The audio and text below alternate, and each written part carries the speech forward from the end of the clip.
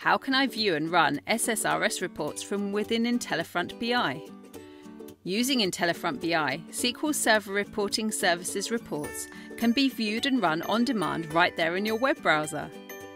From under the Workshop tab on the left, select the SSRS Report subsection and a searchable list is displayed. ChristianSteven Software Bigger data, better business.